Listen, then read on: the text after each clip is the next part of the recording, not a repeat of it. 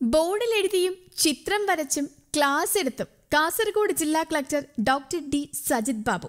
പഠിതാക്കളുമായി മാധ്യമപ്രവർത്തകരും ഉദ്യോഗസ്ഥരും. ചോദ്യങ്ങൾക്കും സംശയങ്ങൾക്കും വാക്കുകളിലൂടെ ഉത്തരം നൽകുന്നതിന് പകരമാണ് ജില്ലാ കളക്ടർ ബോർഡിൽ എഴുതിയും വരച്ചും പഠിപ്പിക്കുന്ന അധ്യാപകനായി മാറിയത്. നല്ലൊരു സിവിൽ എഞ്ചിനീയറെ കടത്തിവെട്ടുന്ന തരത്തിലാണ് കളക്ടർ ബോർഡിൽ പോളിംഗ് ബൂത്തിന്റെ രേഖാചിത്രം വരച്ചു പഠിപ്പിച്ചത്. വോട്ടെടുപ്പ് നടത്തുന്ന പോളിംഗ് ബൂത്തുകളിൽ അധികവും വെളിച്ചക്കുറവുള്ളതാണെന്ന ചോദ്യത്തിനുള്ള ഉത്തരം നൽകാനാണ് കളക്ടർ എഴുന്നേറ്റ് ചെന്ന് ബോർഡിൽ ചിത്രം വരച്ചത്. ബൂത്തിന്റെ ദൃശ്യം വോട്ടിംഗ് യന്ത്രം വയ്ക്കുന്ന സ്ഥലം പോളിംഗ് ഉദ്യോഗസ്ഥർ ഇരിക്കുന്ന സ്ഥലം കെട്ടിടത്തിലെ മറ്റ് സൗകര്യങ്ങൾ വെളിച്ചം ഏർപ്പെടുത്താൻ നിർദ്ദേശിച്ച സ്ഥലം എന്നിവ ഞൊടിയിടയിലാണ് കളക്ടർ വരച്ച് വൈഭവം പ്രകടിപ്പിച്ചത്. നിയമസഭാ തെരഞ്ഞെടുപ്പിൽ വാർത്തകൾ ചെയ്യുമ്പോൾ സ്വീകരിക്കേണ്ടുന്ന സമീപനം സംബന്ധിച്ച് കളക്ടറേറ്റിൽ ഇന്നലെ രാവിലെ നടത്തിയ മീഡിയ വർക്ക്ഷോപ്പിലാണ് കളക്ടർ അധ്യാപകനായത്. ജില്ലയിലെ അഞ്ചു മണ്ഡലങ്ങളിലായി പ്രചാരണത്തിന് ഉപയോഗിക്കാൻ നൽകിയ ഇരുപത്തിയഞ്ച് മൈതാനങ്ങൾ മതിയാകില്ല എന്ന രാഷ്ട്രീയ പാർട്ടി നേതാക്കളുടെ അഭിപ്രായം പരിഗണിച്ച് കൂടുതൽ മൈതാനങ്ങൾ അനുവദിക്കാൻ നടപടിയുണ്ടാകുമെന്ന് കളക്ടർ പറഞ്ഞു. രാഷ്ട്രീയ പാർട്ടി പ്രതിനിധികളുടെ യോഗത്തിലായിരുന്നു ഈ ആവശ്യം ഉയർന്നത്. അതിർത്തി കടന്നെത്തി വോട്ടർമാരെ സ്വാധീനിക്കാൻ നടത്തുന്ന ശ്രമങ്ങൾ തടയാൻ പതിനേഴ് അതിർത്തി റോഡുകൾ ഉൾപ്പെടെ ഇരുപത് കേന്ദ്രങ്ങളിൽ കർശനമായ പരിശോധന നടത്തും. ഇതിനായി ബന്ധപ്പെട്ട ഉദ്യോഗസ്ഥരെ നിയമിച്ചു കഴിഞ്ഞതായി കളക്ടർ പറഞ്ഞു. പണവും മദ്യവും സമ്മാനങ്ങളും നൽകി വോട്ട് പിടിക്കുന്നതും തടയും. തദ്ദേശ തെരഞ്ഞെടുപ്പിൽ നൂറ്റി ഇരുപത്തിമൂന്ന് കേന്ദ്രങ്ങളിൽ ഉദ്യോഗസ്ഥരുടെ സംഘം പരിശോധന നടത്തിയിരുന്നു.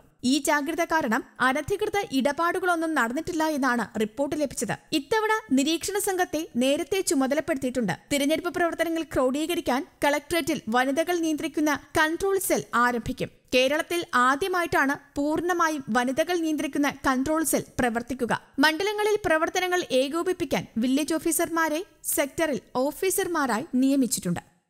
ആകെ പതിനഞ്ച് ഫൈൻ സ്കോഡുകൾ പിന്നെ ഇവിടെ ജില്ലാ ഇലക്ഷൻ ഓഫീസറുടെ ഒരു ഫൈൻ സ്കോഡ് ഉൾപ്പെടെ പതിനാറ് ഫൈൻ സ്കോഡുകൾ ഇപ്പോൾ നമ്മുടെ ഓപ്പറേഷനിലാണ് അറുപത് ടീമുകളാണ് നമ്മൾ അതിന് വേണ്ടിയിട്ട് മാറ്റിവെച്ചിട്ടുള്ളത് നമ്മുടെ ജില്ലയിലുള്ള ഈ മറ്റ് പ്രശ്നങ്ങൾ അതായത് എം സി സി വയലേഷനുമായി ബന്ധപ്പെട്ട് മോഡൽ കോഡ് കണ്ടക്ടിന്റെ വയലേഷനുമായി ബന്ധപ്പെട്ട പ്രവർത്തനങ്ങൾ നടത്തുന്നതിനാണ് ഫൈൻ സ്കോഡുകളെ ചുമതലപ്പെടുത്തിയിട്ടുള്ളത് അവർ നല്ല രീതിയിൽ തന്നെ പ്രവർത്തനം ആരംഭിച്ചിട്ടുണ്ട്. രണ്ട് ദിവസമായി അതിന്റെ പ്രവർത്തനവും സ്വിംഗ് നടത്തുകയാണ് ഇതുമായി ബന്ധപ്പെട്ട് ആന്റി ഡിഫേസ്മെന്റ് കാര്യത്തിലും ഫൈൽ സ്പോട്ടിന്റെ കാര്യത്തിലും ആൾക്കാർക്ക് എന്തെങ്കിലും പരാതി ഉണ്ടെങ്കിൽ ഇലക്ഷൻ കമ്മീഷന്റെ പുതിയൊരു ആപ്പ് ഡെവലപ്പ് ചെയ്തിട്ടുണ്ട് അതിന്റെ പേര് സി വിജിൽ എന്നാണ് ആപ്പിന്റെ പേര്. സി വിജിൽ ആ സി വിജിൽ ആപ്പ് പ്രകാരം അത് പ്ലേ സ്റ്റോറിൽ ലഭ്യമാണ്. പ്ലേ സ്റ്റോറിൽ നിന്നും സി വിജിൽ ആപ്പ് ഡൗൺലോഡ് ചെയ്തിട്ട് പരാതി അപ്പോൾ തന്നെ അയച്ചു കഴിഞ്ഞാൽ നൂറ് മിനിറ്റുകൾക്കുള്ളിൽ നിങ്ങളുടെ ഞങ്ങളെ നൂറ് മിനിറ്റുകൾക്കുള്ളിൽ സി വിജിൽ ആപ്പിൽ പരാതി തന്നു കഴിഞ്ഞാൽ നൂറ് മിനിറ്റുകൾ തന്നെ ആ പരാതി പരിഹരിച്ച് നിങ്ങൾക്ക് കസ്റ്റമർ ആയിട്ട് മെസ്സേജ് തിരിച്ചു വരുന്നതായിരിക്കും.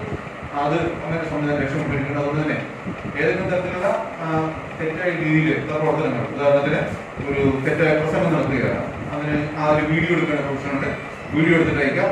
ഇനി ഏതെങ്കിലും സ്ഥലത്ത് നിങ്ങളൊരു പോസ്റ്ററോ ബാനറോ പബ്ലിക് പ്ലേസിൽ കാണുകയാണ് അതിന്റെ ഫോട്ടോ എടുത്ത് അയക്കാം. ഇനി ഏതെങ്കിലും പ്രൈവറ്റ് പ്രോപ്പർട്ടിയിൽ അനുമതി ഇല്ലാതെ വെച്ചിട്ടുണ്ടെങ്കിൽ അവർക്ക് ആ ഫോട്ടോ എടുത്തിട്ട് അയച്ചു കഴിഞ്ഞാൽ നൂറ് മിനിറ്റുകൾക്കുള്ളിൽ ആ പ്രശ്നം പരിഹരിക്കുന്നതാണ്. News desk Kerala Kaumudi.